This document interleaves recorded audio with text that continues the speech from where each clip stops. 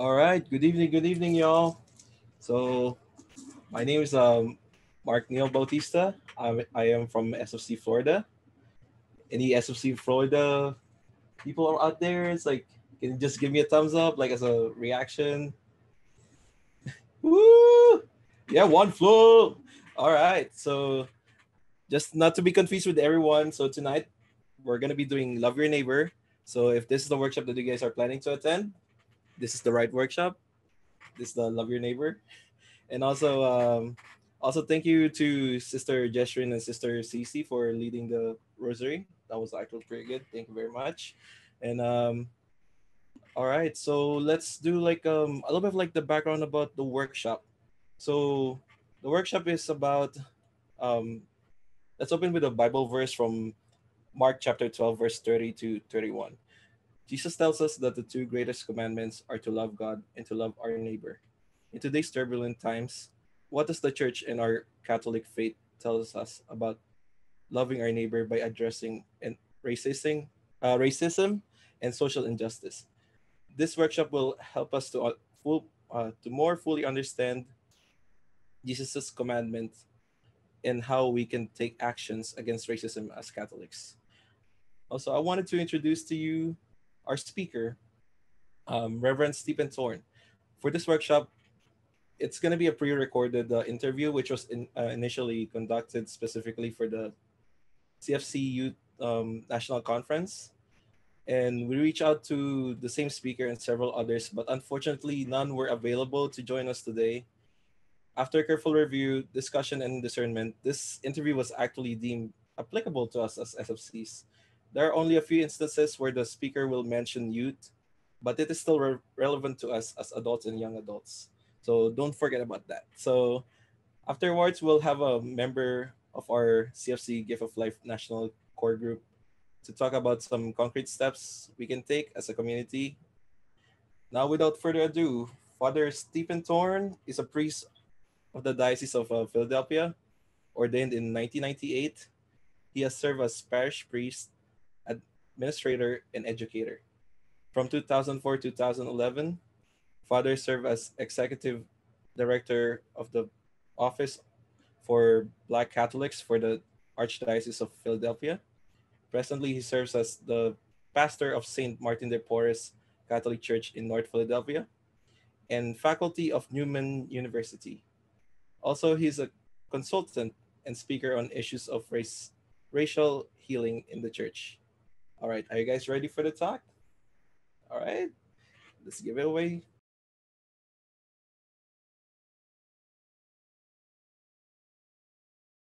Hello, brothers and sisters. Welcome. Uh, my name is Patrick Cornell. I'm a lay missionary for CFC Youth USA, and welcome to the Call of the Church on Social Injustices Workshop.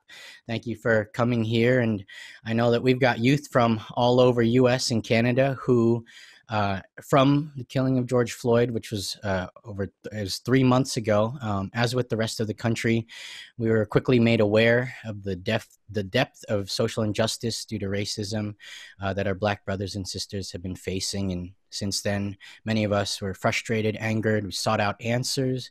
We tried to take what action we could. We prayed. We learned and I think as a majority Filipino community, uh, guidance from firsthand experience was not common. It was difficult. We really had to make an extra effort to seek that out. And that is why we are really, really blessed to have our guest speaker for our workshop today. He is a priest from the Archdiocese of Philadelphia, Go Eagles, ordained in 1998, has served as a parish priest, administrator, and educator from 2004 to 2011, uh, he served as ed- executive director of the Office of for Black Catholics for the Archdiocese of Philadelphia. Presently, he serves the, as the pastor of St.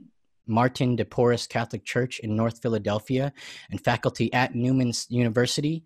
And he is a consultant and speaker on issues of racial healing in the church, which is what makes him so perfect as our guest speaker today. So let's welcome Reverend Stephen Thorne. Thank you, Patrick. Hello, everybody. Good to be with you. Uh, thank you so much again, uh, Reverend Stephen, for for joining us. Uh, we're we're really excited. Maybe is there a, a, little bit about yourself that you could share before we start? You know, you mentioned uh, that this is a majority uh, Filipino brothers and sisters together, and so it's wonderful. I was pastor of St. Therese Parish uh, in Mount Airy, Philadelphia, uh, for three years, three happy years, my first time being a pastor. We had a Fiat prayer group there, and uh, they gathered every Friday, and I was a Filipino community gathered for prayer and fellowship, and they had the best food in the world.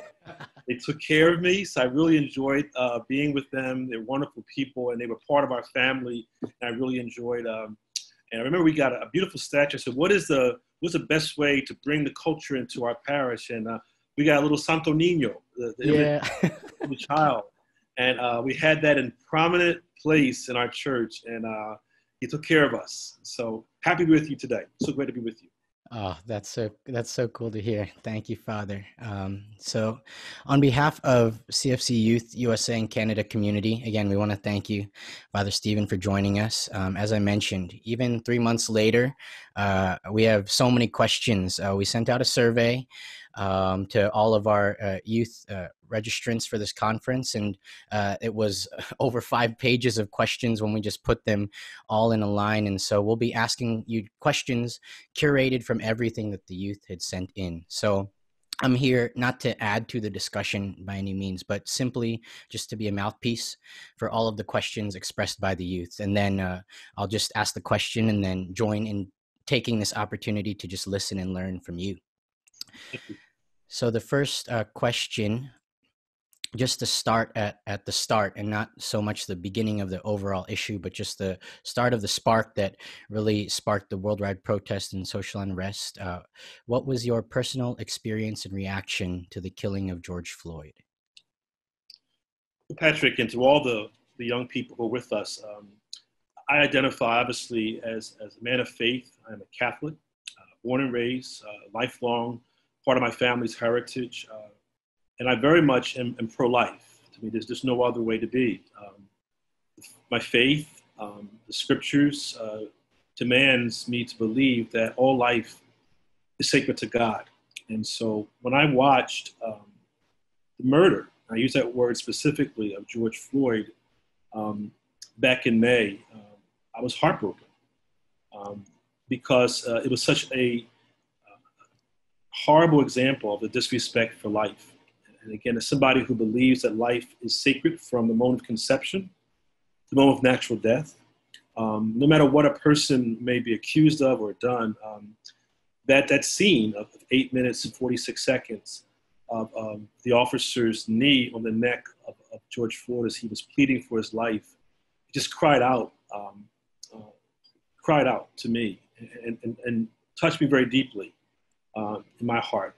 Um, ironically, the Sunday after that was Pentecost Sunday, and we heard uh, Jesus breathe on his disciples and, and, gave them the gift of the Holy Spirit.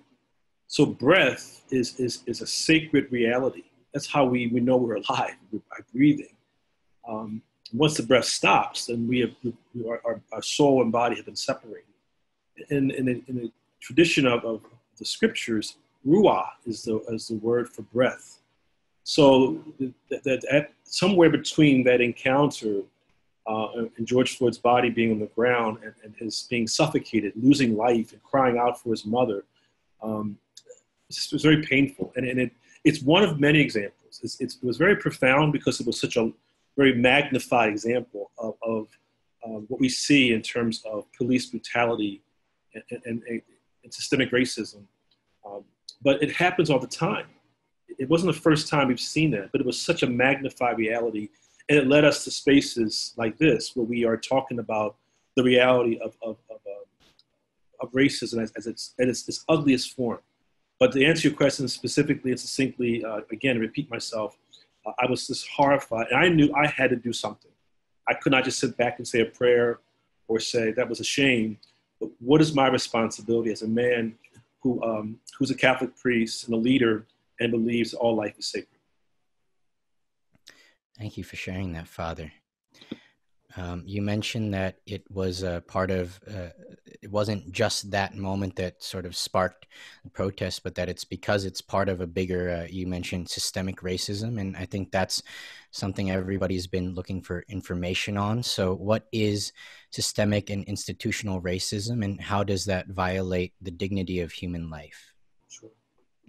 U.S. bishops wrote a letter two years ago, Open Wide Our Hearts. And in that, they talk about how racism appears in many ways. It's personal, it's institutional, it's systemic, um, internalized. So there's different ways it shows up when we disrespect and, and, and specifically do things, actions that uh, hold one race against another. And for, for, for me and for African Americans, that has been seen in many, many ways. And uh, systemic literally is part of the system, it's part of the institutions, it's baked in um, in, in, informed, and we don't really realize sometimes of how it is part of who we are.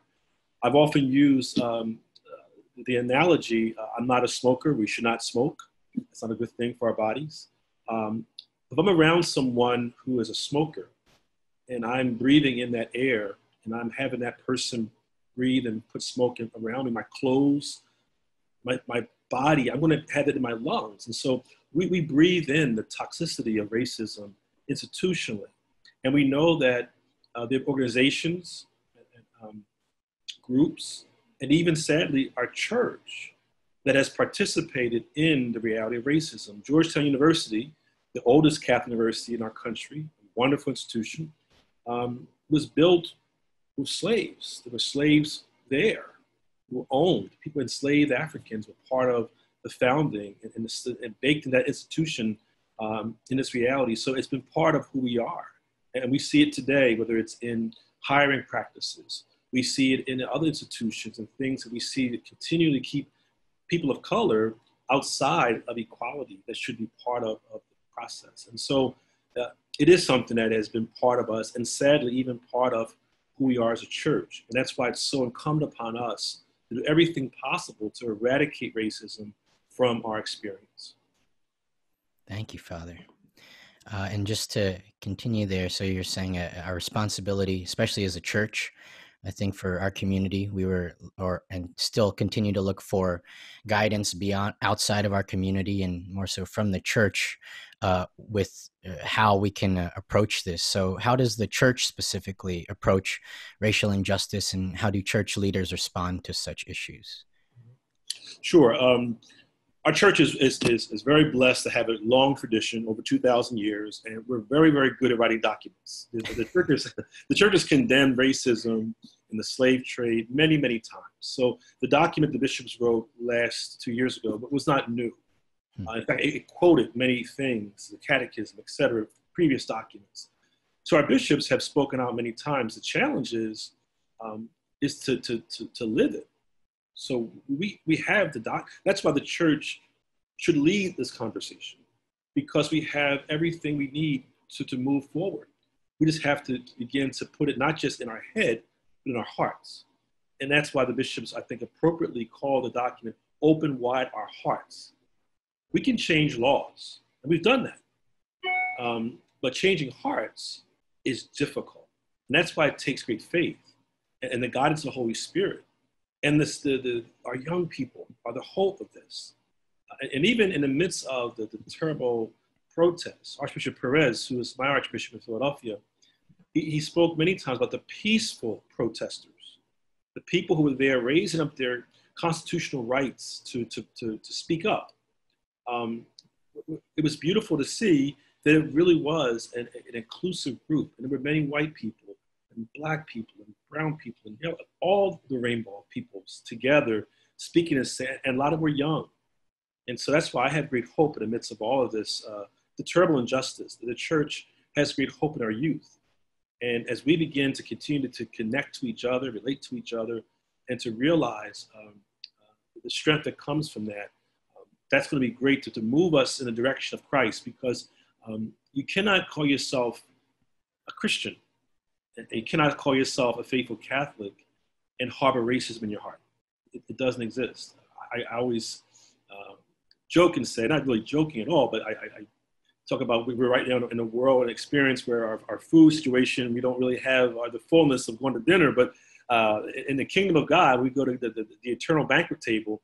You won't get indoor seating, outdoor seating, or even and even drive-by service. You can't get any of that if you're a racist. So you, you cannot be part of the great banquet of the Lord if you have it. you're going to be put out. So we have to always do our best here on earth to build the beloved kingdom. Thank you, Father.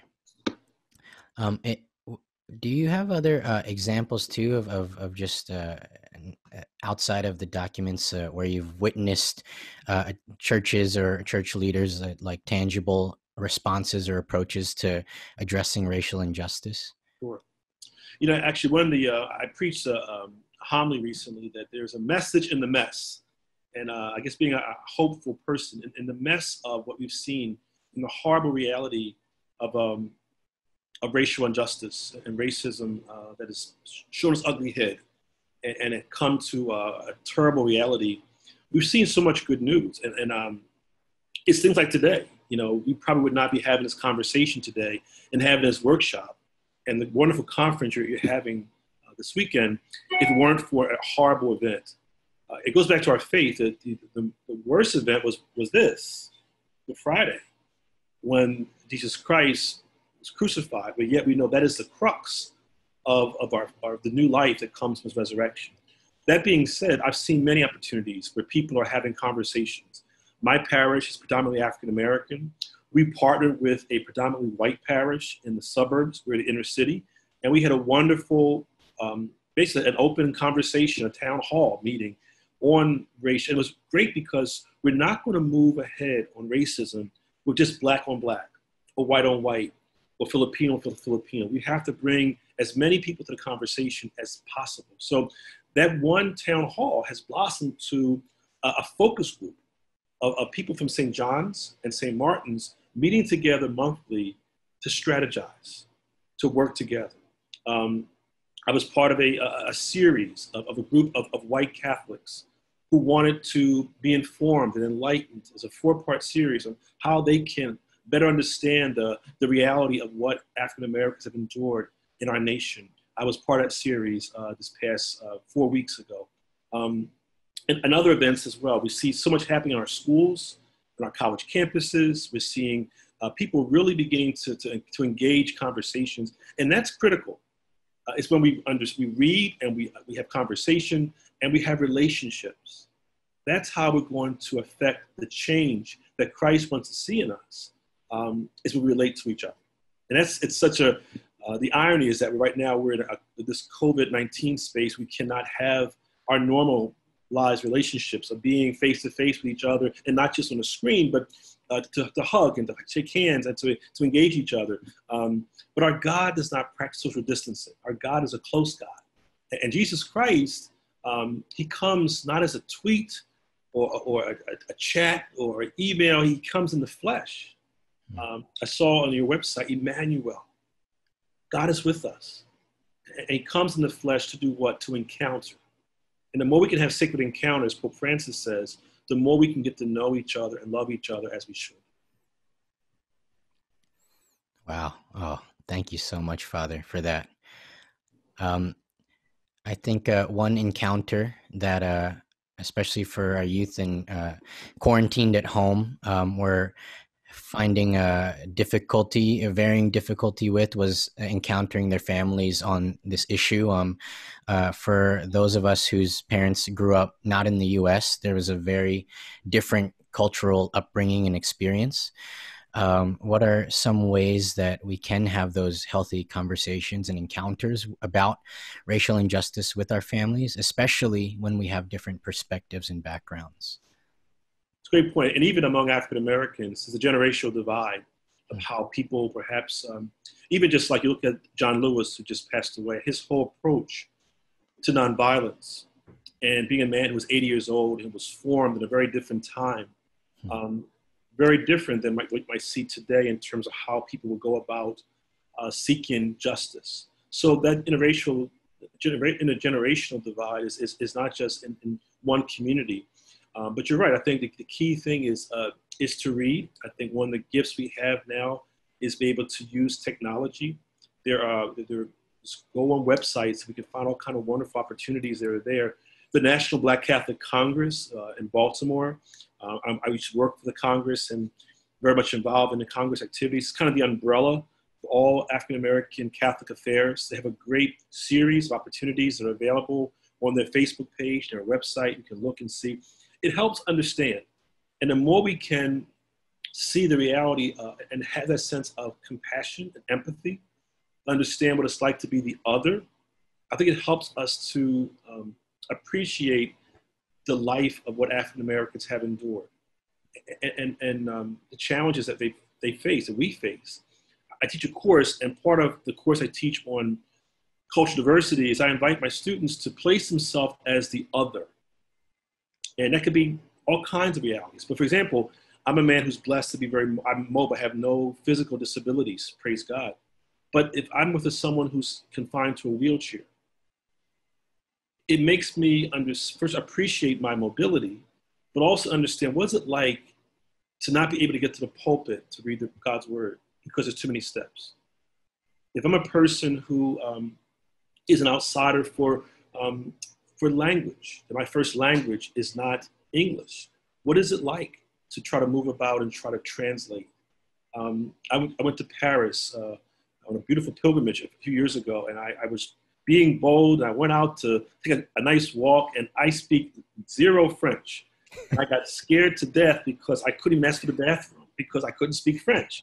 But it gave me a real understanding and appreciation and empathy for those who come to, to America who perhaps do not speak English very well. That being said, the more we can find opportunities to engage, to listen, I think that's important. So I, I really, I would hope our older people, we need their, their strength and their wisdom, but the, the, to listen is important.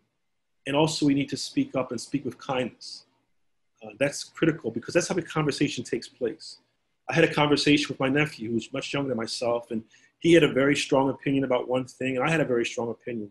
And my sister was so brilliant. She says, You know, you're both saying the same thing.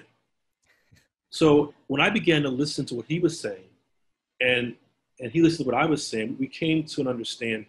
So I think listening is critical as we begin to heal some of our generational divides that we have with each other uh, and appreciate each other and, and to be open to, uh, because I believe that the, the, the, the plight of, of, racism that has affected over 400 years of African Americans, um, it's seen in other places too. We've seen other people have been, ex- been experienced discrimination and, and, and, and prejudice has, has shown up in other ways not to the degree of what we did to enslaved Africans. Uh, I often call that as one of our first original sins um, as a country. Uh, but certain other people can identify what it's like to be left out. Our, our women, just a, hundred years ago, were given the right to vote, was ratified in this country. So what we have done to, to women and not allowing them and permitting them to be full partakers in the political process. So um, all that I think is helpful when we begin to build relationships with each other. Thank you, Father. Um, an experience that some of the youth have had uh, in trying to talk to their parents or maybe others is, I think, the uh, maybe a, a hesitancy to to listen from the other uh, the receiving side doesn't want to receive or be open to that conversation and uh, i think uh, you know how can they approach that conversation, whether it's with their family or with others that they don't want to even listen or have that conversation? Never to give up, never lose hope. I, I think it's, um, we would be, as, as a pastor, as educator, and someone who works with young people on, on college campus, uh, I would be a fool today if I'm going to try to minister and not listen. And so I, I try to do, uh, my mother often said to me, Stephen, you have two ears and one mouth. So God is trying to tell you to more listening than, than speaking. Um, but our young people are a gift. And this, this conference is a gift. And I'm just so inspired by what I've learned about this uh, organization and what you're doing to bring young people to Christ and to bring Christ's message to them and in, in families and in the development and the different programs you have.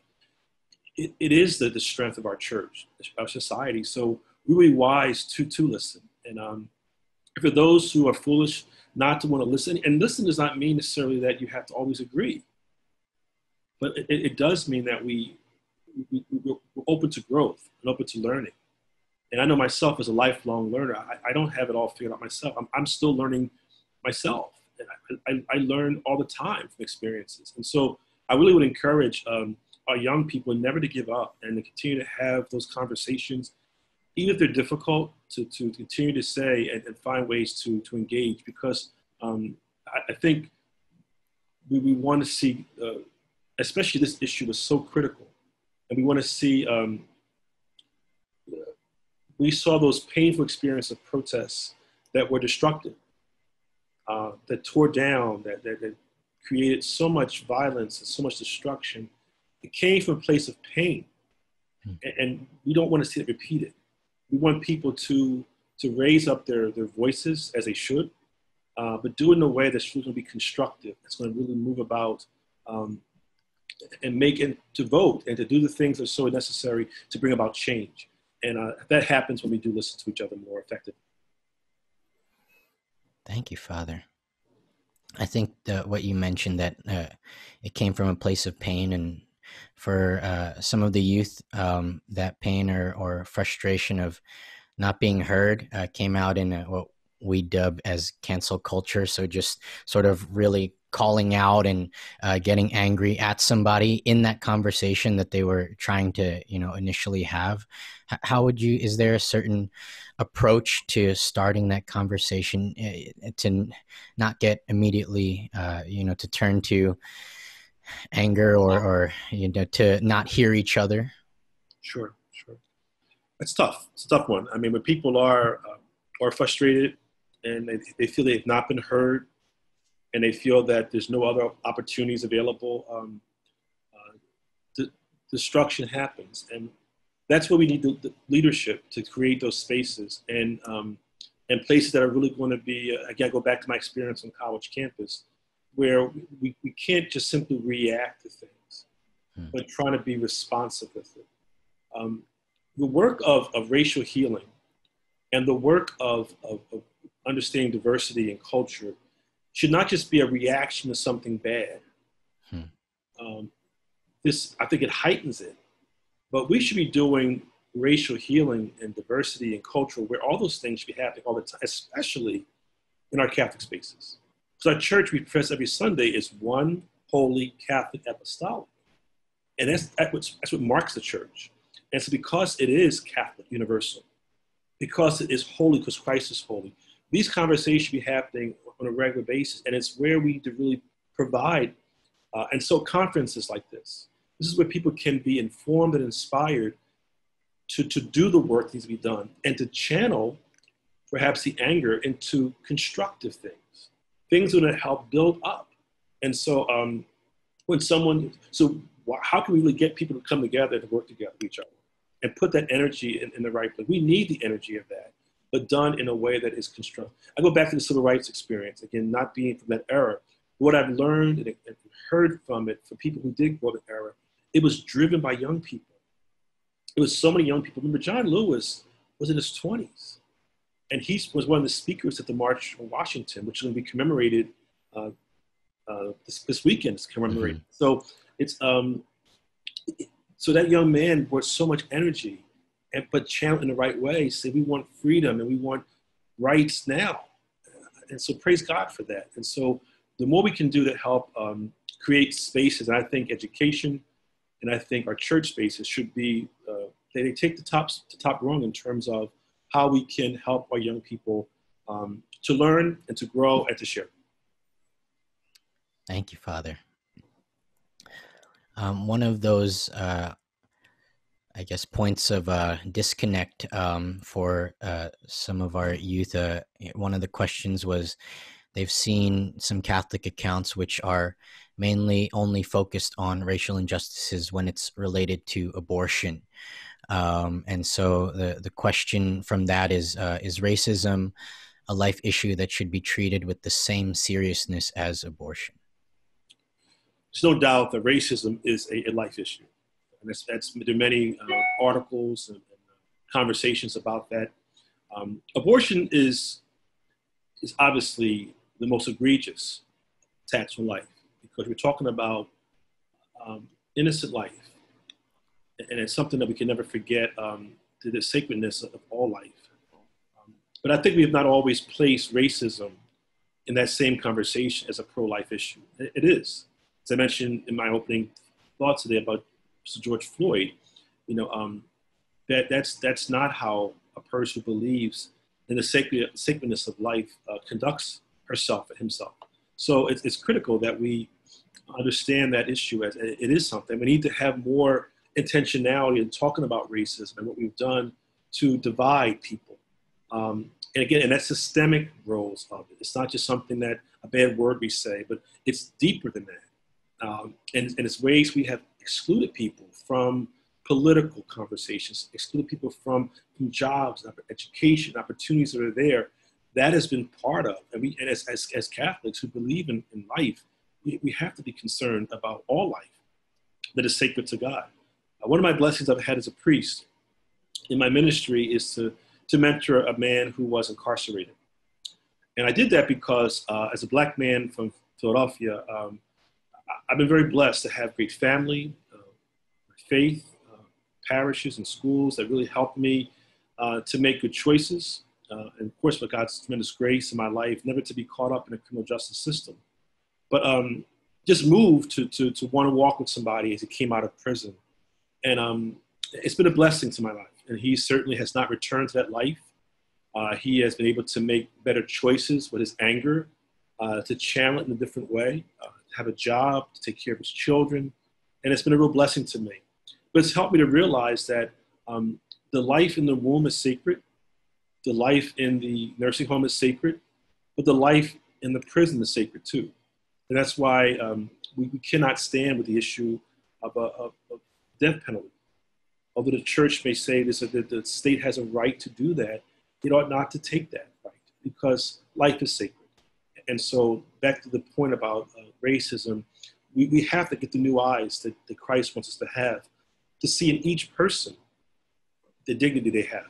Because if I believe that you are my sister or my brother in Christ, um, and I'm loved by God, for example, Black Life Matters. Well, Black life, I have to, my life has to be sacred to me. And to believe that as a, as a, as a man, as a black man, as a, as a priest, I, I am, I'm God's child. If I understand that and believe I am God's child, it changed how I see you. You're God's child too. So I, I cannot um, fail to forgive you if I've been forgiven by God. So I understand that, but it changed how I behave myself. So it goes back to that point about pro life as being truly a deep respect for yourself, and that turns itself outward to respect you as well. Thank you, Father. Another uh, point of uh, disconnect, um, I think, uh, and just um, disagreement from the questions uh, that we received. Uh, as Catholics, how should we view and approach uh, Black Lives Matter? What can and cannot be supported from the Black Lives Matter movement? It's a very uh, important conversation. It's very important. Um, we must make a distinction between the three words, Black Lives Matter, with the organization and the movement itself. Um, as Catholics, we, we need to affirm that Black life matters because uh, that is who we are, because uh, life matters to God. So Black life Matters, the phrase Black Lives Matter, uh, affirms a truth that Black people are sacred to God. Mm-hmm. Um, and it also pushes against uh, a history in our country, in our church, where we have not always respected the gifts of Black Catholics and the Black people in general. So that's part of our history, and we can't deny that. So it's, a, it's, a, it's an affirmation of that. Um, the organization, the movement, has many pieces to it and I, even myself, I, I, try my best to keep up with it. And it's very, even the website's very in terms of the platform, it's varied in terms of how it's lived out in certain parts of our country. So what, what, how it's expressed in Chicago may be very different than New Orleans. Uh, and there are pieces of it that are not consistent with our church. And so it, it, it moves us to a place of elevating our minds, to read, to learn, um, to grow. Archbishop Lori in Baltimore, uh, Archbishop Baltimore, wrote a beautiful piece on how Black life matters is consistent with our Catholic social teaching. It's very well done. I encourage people to read it. Uh, but also, he's very clear about the, obviously, he does not affirm um, all the tenets of that platform. But it's important for us to understand um, to be very, uh, it's for our young people in their education and their energy uh, and conferences like this one today is helpful to, to be informed, to have their conscious and their mind informed. Part of our faith is to know. Um, the first part of the catechism is all on was on creed. So before we get to sacraments and morality and prayer, catechism is is uh, in fact over a third of it is on the faith. So we cannot celebrate something in worship and the sacraments uh, we don't know. We cannot live something we don't know. So even our morality, it makes no sense at all. Like, why should I forgive you unless I know I've been forgiven? Why should I re- realize that sexual relations belong between a man and a woman in a bond of marriage, open to life? If I don't understand the gift of sexuality, so all that is based upon understanding our faith. And so uh, it does invite us to really to not just to take everything we hear on television um, at first glance, and to, to read, understand, to be elevated so we can be able to make good choices. But yes, my life does matter. So does yours. But my life is important. Amen. Thank you for that, Father. Um, so you mentioned uh, their uh, learning, and and also uh, earlier you mentioned a lot of having the conversations. I think um, uh, beyond that, uh, what is it that youth, especially those that we have that are under 18 that are minors, um, how can they take action? You know, I think that everybody wants to do something, but on these issues, social issues like race inequality uh, and injustice, locally, nationally, and globally, and how does that relate to Catholic social teaching? I'm gonna go back again to the bishop's document. There, there are 11 strategies that they offer in uh, Open Wide Our Hearts, and I encourage um, all of us to, to read it, reread it again. Um, it's a simple document. It's nothing really deep or profound, but it, it lays out our faith through scripture and tradition that's very clear. And it gives us um, some moments. One of us is encounter. I, I use that word, Pope Francis uses it a lot. I, I love that phrase, encounter. When we encounter people that are different than ourselves, uh, so I invite our young people, whether they're schools or other opportunities, to, to intentionally listen and get to know someone who's different than himself. And that could be very simply, and even this virtual space of going to a site or going to um, a podcast or something that really gives you a chance to learn something different from someone different than themselves. A chance to worship in a different faith community, a different uh, a cultural community that may be helpful to say, wow, I didn't realize that this group worships this way, or they're both, they're all Catholic, and, and that's part of our faith tradition as well. Um, those are ways we can begin to really, and I, I think also to, to raise up your voices. I, I think in our schools, if you, you're not being, um, hearing anything about African American history, to ask that question. That's, that's, a, that's a very valid question for a student to ask uh, their administrator or their principal or their teachers. Um, I have a calendar from the, the Josephites uh, brothers. Uh, they have brothers and fathers, a beautiful calendar out, which is uh, has every day a different um, uh, a different saint, of course, as a celebrated, and then also a, a, a, Black history fact. So I just look at it every day, and it gives me, I didn't know that. I didn't know that person was born this day. And it, so it's both sacred and secular. So those things we can begin to really expose ourselves and to grow and to learn uh, are helpful to, to bridging us together. But encounter, um, information uh, is, is, another way we do it. And also service. I find when young people come together and do service, uh, it's a great way to use your energy as someone who um, led service projects as a high school teacher and, and worked in campus ministry, um, I'm very much aware of that. Young people, we, we come together and do something like that, especially when it's, it's in different groups.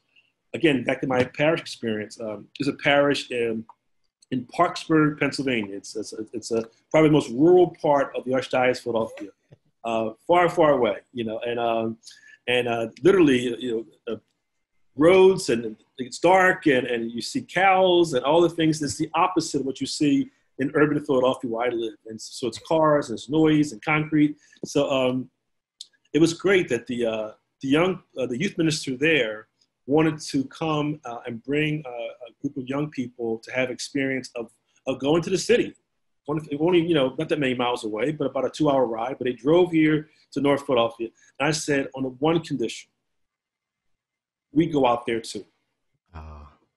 I said, we have to go out there as well. We just can't simply have you come to us. And because that's relationship. Otherwise, you just come and have an experience in the, the black community in the urban city. Uh, but that's not enough. So they came here, we had pizza, we played basketball, it was great. We went out there and we milked cows. And so, and a lot of our kids had never even seen a cow before, let alone milked a cow. Um, that's, that's wonderful. So, I, so our youth groups can intentionally come together and say, we want to go and have those experiences that are great. Um, we have a sister parish, um, again, in a, in a, suburban community. And for the last nine years I've been pastor here, we go there, they come here. But it was wonderful this past year because our choir sings gospel music there, their choir would listen and enjoy it. And I said, wait a minute, that's not, that's not a full ex- exchange. You have to come and sing in our church. And, uh, and the pastor, we don't sing like you. I said, exactly. You're not us. And it was great because they came and sang the songs they would sing in their parish in our church. And it was wonderful. But even better than that, they sang one song together called Total Praise. Mm. And it was beautiful to see 50 some voices of black and white, young and old, male and female singing God's praises. That's heaven. That's church. And the more we can do that, the more we're going to bring the kingdom of God right here on earth. Amen. Well, thank you, Father. Um, you mentioned I um, cows, by the way. I, I don't milk cows. So yeah, I watched. the um, you, earlier you mentioned uh, for, important for us to form our conscience as young people. I think, uh, especially well, everybody being home, it's been a lot of media, and so uh, as Catholics, how should we approach and analyze uh, local, national, and global news sources and how can we discern um, objective facts from what we consume? Sure. Excellent point. Uh, the first thing is um, always through the lens of Christ and the church. Always. And so um, I, I, tell, we cannot and we will not ever tell someone how to vote. That's not consistent. But the church must be in the public square. We have a responsibility to take the, to the streets. That is part of our, our the mandate of Christ. Go ye therefore and teach all nations. And many times we see, just a few weeks ago, we had the Jesus encountering the Canaanite woman. So he goes to a region outside the Jewish territory and encounters her. It's beautiful exchange where she ends up having her, her prayer request answered. Her daughter is healed at the very moment. So the church must be in the public square, but do so through the lens of Christ. So I was encouraged as a pastor and as an educator uh, to read, to read critically, not to just assume everything uh, because I hear it, okay, uh, just to, it must be true, to, to, to get as much facts as possible. Um, I'm, a, I'm one who loves politics, so I watch both the Democrat and the Republican convention together uh, because I want to get as much information as possible so I can discern what is best and what's most consistent for me. And so I think it's very important to, to, to get that information, to, to read and to, and to have, um, you know, that's where our, role as priests, and bishops, and catechists come in to give people the truth, um, because that's how they're called to grow. And so, um, even if someone doesn't want to hear it or doesn't agree with it, um, my responsibility is to be consistent with the magisterium of the church, to be very clear what the church teaches, and to put my own personal opinions aside and make sure I'm consistent with that. And so, uh, that formation is critical.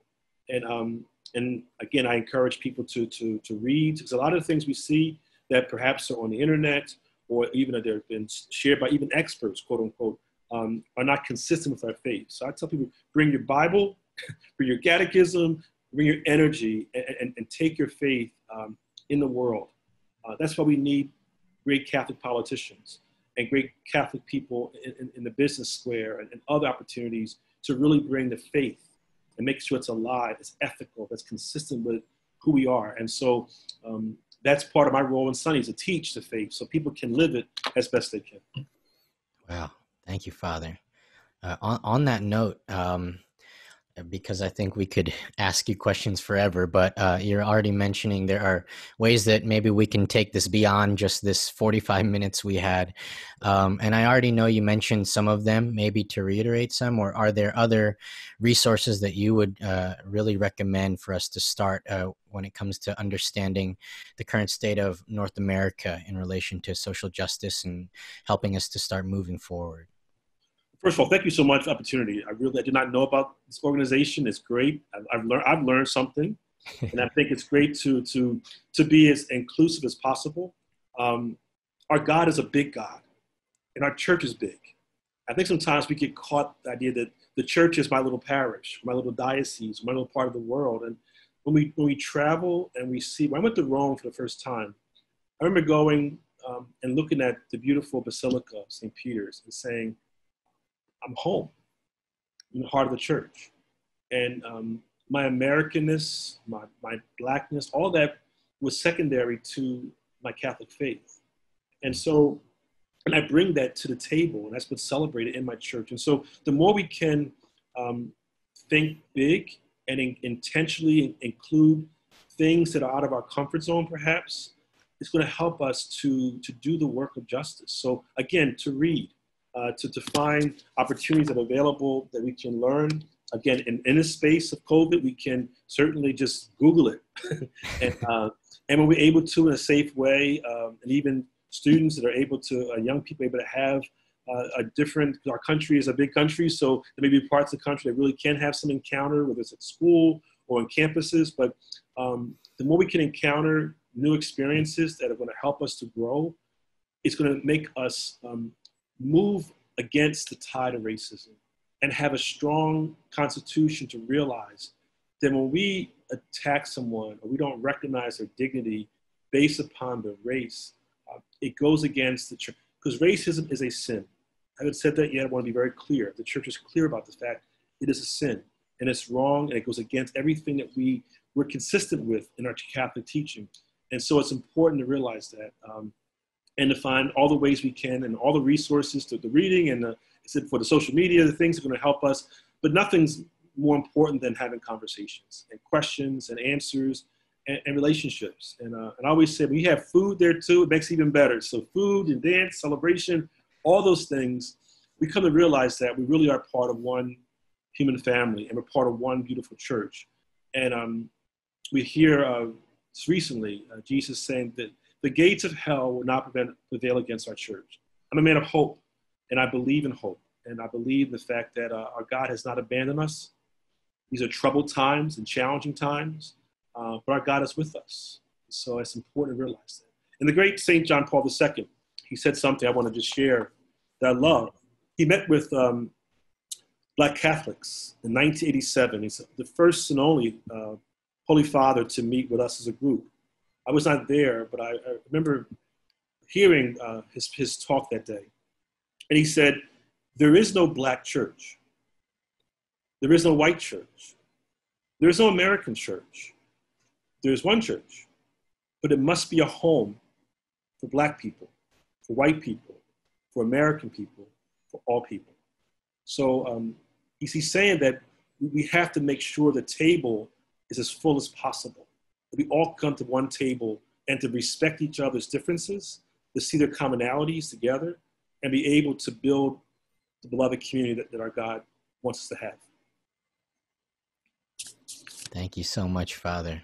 You're this welcome. has been uh, such a blessing. Um, and uh, as you mentioned, hopefully just the beginning of many more encounters, uh, hopefully with you and, uh, of course, other communities all around us. Uh, so thank you for really giving us a vision forward. It's been such a blessing. Can I bless the participants now? Offer blessing, Patrick? Yeah. Oh well. Before that, it's Oh. it's our custom to sort of uh, pray over our priest, that any priest that helps us, if that's okay. Sure. All right. So let's acknowledge God's presence, Father, Son, Holy Spirit. Amen. And just extend our hands over Father Stephen. Thank you so much, Lord. for sending uh, Father Stephen to us and just allowing us, Lord, to um, have this insight, this experience, this wisdom, this perspective that's outside of our community, Lord.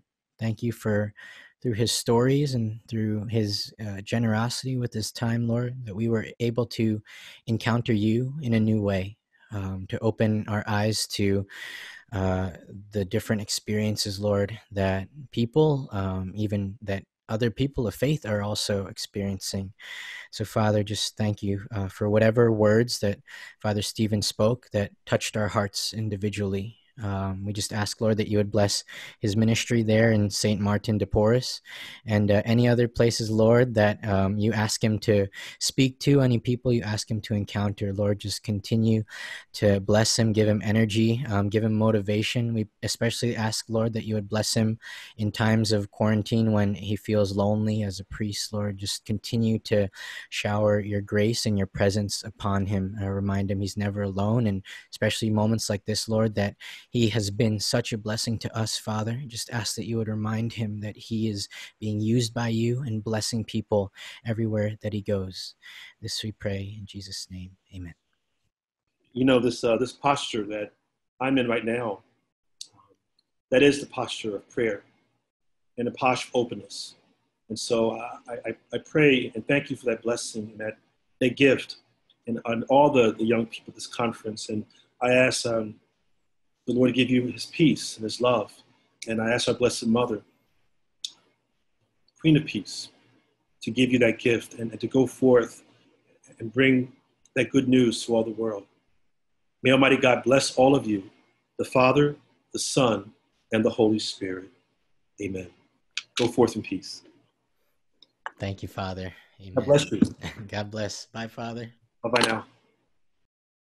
All right, let's give it up to Brother Patrick and uh, Father Stephen. Woo! All right, so now we're gonna go to our guide questions. All right, so our guide questions for tonight comes to like two questions. So, what concrete steps can I take to encourage conversations in my family on the evil reality of racism? Number two, what concrete actions can I take to better understand the plight of our Black brothers and sisters, and how can I be an instrument of peace, bringing God's message of the dignity of all human life in a way that honors God? All right, so the thing is like uh, we don't have like enough like time for the discussion group. So the thing is like it's like a good like guide questions that we could bring to our households, and um, also so as we echoed from the the answers that Father Thorne has given, is a racism is a life issue. So we have invited a member of the CFC Gift of Life National Core Group to provide us with some information on how we can continue to uphold the dignity of all human life. So she's our sister. Um, her name is uh, Tita Michelle Reyes. Uh, a background about her is like she's um, married to her beloved Noriel for 37 years and blessed with two adult daughters ages 36 and 22, and two granddaughters, ages 7 and 3. Michelle and her husband have been in CFC since 1994 and currently serving as sector heads for CFC SoCal. Uh, she's a loan closing and servicing manager for a boutique um, commercial mortgage banking firm in Orange County, California and she's also our CFC Gift of Life National Director. Let's give it up to Tita Michelle Reyes. Good evening. And once again, thank you very much for the opportunity, you know, to speak with you tonight. Patrick, I thank you for the conversation between you and Father Stephen that you shared with us tonight. I'd like to um, make a shout out to dear to a dear and longtime friend who I noticed is on tonight, Oz from SFC Hawaii. It's nice to see you. Mark, thank you for facilitating this conversation tonight. I'm sure we all agree that 2020 has really been a historic year and has really raised our awareness of the serious threats to human life and dignity, with issues such as racism, the environment, poverty, abortion, and other such issues raised to the forefront. I'm not sure if you guys remember, but in June 2020, what that's four months ago, at the height of the racial tension protests, our CFC leaders issued the statement, Our United Call to Action Peace. And um, peace acronym stood for prayer, education, where they're asking us to continue to educate ourselves on the history and real consequences of racism, A for advocacy. Let us be instruments of healing and restoration as we join others to advocate and promote justice at all levels to combat racism. Conversations, Father spoke to this a, a lot, we, where we're called to open, be open to conversations, but also to look deeply into ourselves to recognize the reality of our own prejudices and biases, and of course, encounter to encounter Christ in each other. That we need to actively reach out and listen and understand the stories of those who have been affected directly by racism. So I urge you, my dear SFC brothers and sisters, to please go back to that document and um, read it again in your households and really find out how you can concretely respond in your own localities. So we need you, we CFC need you, our SFC brothers and sisters. We need your voice and involvement in the work that promotes the dignity of human life, regardless of the circumstances of this life. So we encourage you to please join us on November 7 and November 14. The flyer is right in front of you to learn more about the Gift of Life ministry and see how you can get involved. So um, the details of the event are right here. If you're not able to capture this, I'm sure Patrick or Tina or your co-hosts will be able to give you that information. My challenge to you tonight is to take the lead. Again, take the lead. Take on concrete steps in your local communities. Engage in respectful conversations to better understand and in love and respect help others understand and grow in understanding. Find concrete ways. Find your own social justice cause that you want to get involved in. Be it the environment human trafficking poverty abortion racism. Find your own issue and get involved to make the world a better place. Thank you. All right. Thank you very much, Tita Michelle. So I thank you everyone for participating and joining this workshop. And also, like I thank you the speakers once again for Brother Pat and also uh, Father Stephen.